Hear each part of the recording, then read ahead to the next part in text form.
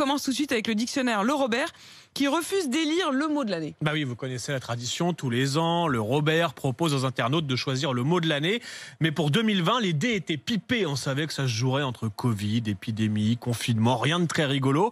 Alors le Robert a demandé aux internautes d'inventer le mot de l'année, d'imaginer des mots qui raconteraient l'année 2020.